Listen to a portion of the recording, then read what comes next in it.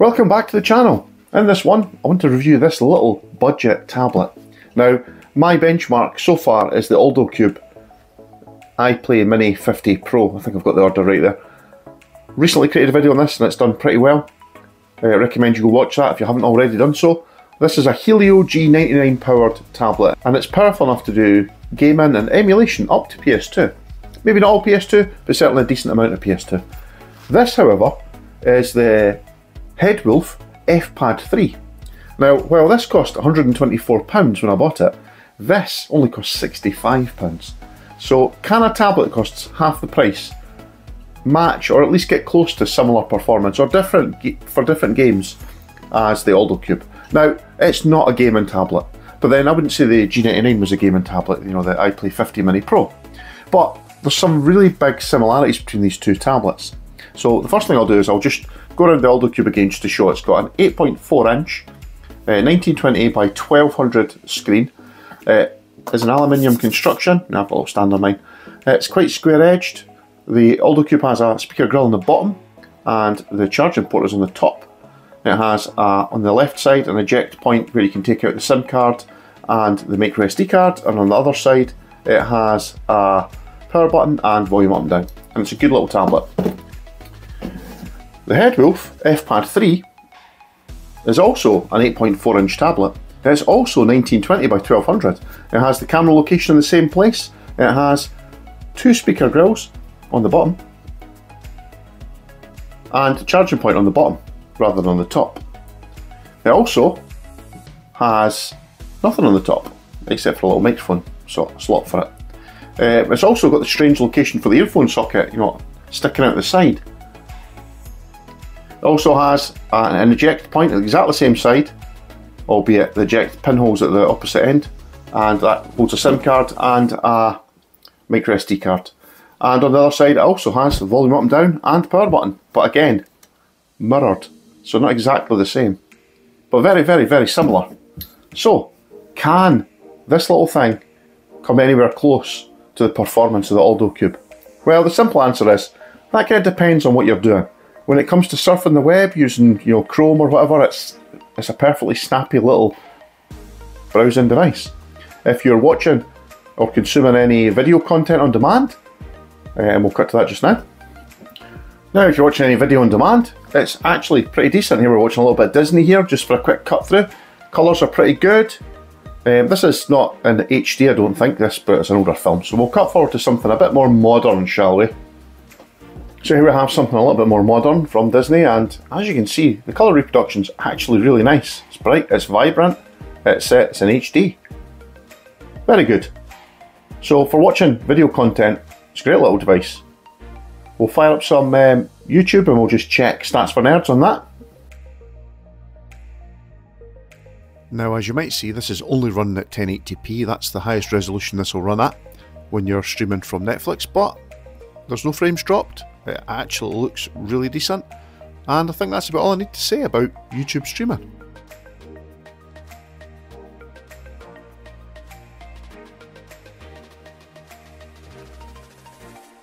And now here we're looking at some comic book reading and as you can see it looks really nice, it's crisp, it's responsive, really easy to change between pages, there's really no delay in loading up the next page. So I'm using my favourite comic book reading app, this is C Display EX and uh, you can scroll left and right with this or you can scroll up and down and it's a really snappy app and works really well with this uh, this tablet. You can pinch to zoom and really it's crisp, it's easy to use. And I think what we'll do now is we'll cut over to using my DSP D8 controller and we'll do some Android emulation. So here we are, first up, let's do a bit of uh, Horizon Chase. And um, as you'll see here, it looks fantastic. There's no settings to tweak, it just runs like a dream. Really responsive, colours look great. Sound-wise, it's perfectly fine. And uh, absolutely just what I was expecting, to be honest, with this game. Now, unfortunately, at this point of my video, the uh, the audio didn't record when I was doing all my game footage, so I'm just having to voice over. So yeah, unfortunately, you can't hear that the audio's nicely in sync. Uh, however, just take my word, it is actually running really well. Um, I could have recorded the footage again, but that seemed kind of pointless. Uh, I'll let you just watch a little bit more of this footage, just so you can see how well it performs, and then we'll cut over to a little bit of Teenage Mutant Ninja Turtles.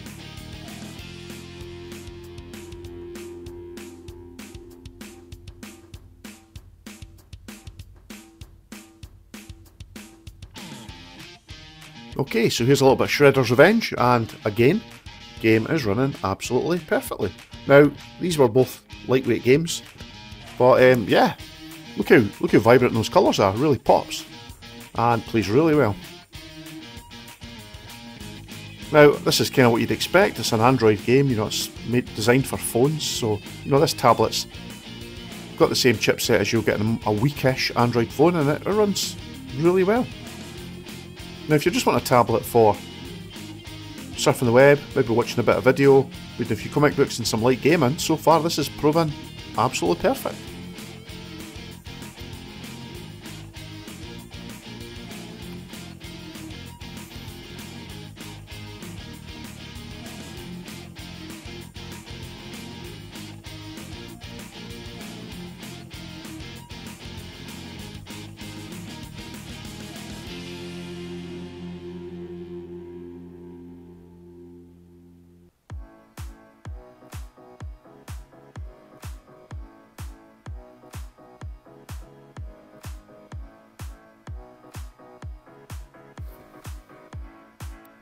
Okay, so up next we've got a little bit of Stardew Valley, which, you know, another lightweight game, but it's a popular game on Android, and again, this runs absolutely perfect. It looks really good on this display. The colours really jump out, don't they?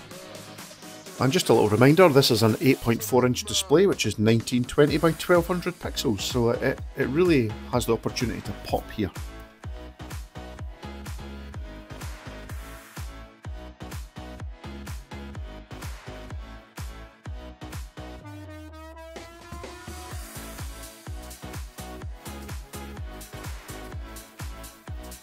And in fact, I could play this game for quite a while. In fact, my son will probably play it more than I will, but it's fantastic how well it plays. Now let's cut over to a little bit of Genshin Impact. Now, unfortunately, I couldn't get the controller working this time. The um, app that I used to get it working, it just needs a little bit of configuring, and I wanted to just get this video done. So I'm using on-screen controls, many people would use on-screen controls. So as you can see here, it's um, running at the lowest visible preset, um, and it's targeting 30 FPS, and it seems to be doing okay. I mean, it's not the best, but it's fairly playable.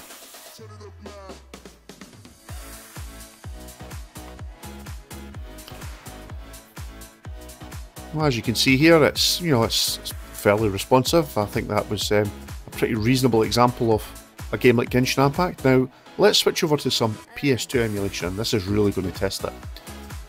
So I'm not going to test too many apps here, we're just going to test God of War 2, this is really testing it. And we're having to run at a 0.75 render resolution, so we're below native. But as you can see, it's semi-playable, it doesn't run at full frames, but it doesn't feel too terrible. At a push, you could play PS2 games like this. Now, the lighter weight games will run at 1x resolution by the, in the most part, and they'll generally run it pretty close to their full frame speed.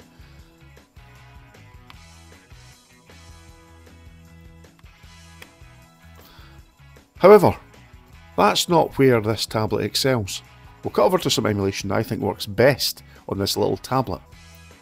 And as you've just seen there, my battery's getting a little bit low on this tablet, but we're just going to carry on emulating anyway, I like a true example. And here we're testing out 3DS emulation. And uh, this is again just running at native uh, resolution. I quite like this because on my 3DS, I've got the original one, the screens are quite small. And you are straining a bit to look at those small screens. And this you can scale up to what's close to a 7 inch main screen. And it still looks pretty good. It's very playable. It's not quite 100%. Uh, speed drops down about 95, I think, sometimes. But it still feels pretty playable to me. And now this is using the Citra MMJ emulator, which obviously can't get anymore unless you hunt around for it or already had a copy, but I still think it was worth testing this here. So that, that sums up the testing of this tablet. I didn't want to do a big in-depth uh, test here. Really, I purchased this tablet for video watching and maybe a little bit of light surfing for my partner. Uh, I didn't really expect much when it came to gaming, and I have to say it's um, it's kind of blown me away a bit. It does pretty well at Android emulation, and when it comes to emulated uh, games, well, it'll play all the old consoles no problem. Struggles a little bit with PS2. Uh, it won't do any GameCube. It really isn't strong enough to do GameCube. Uh, I tested out F Zero and it just didn't even record any footage because it was just so slow. However, I was a little bit impressed that it could do 3DS as well as it could. So if you're looking for a really budget tablet, then the Headwolf FPad 3 might be an option. Uh, if nothing else, for watching your favourite TV shows and reading some comic books, it's a cracking little tablet. Anyway, thanks for watching, and I think I'll sign off at this point. Bye for now.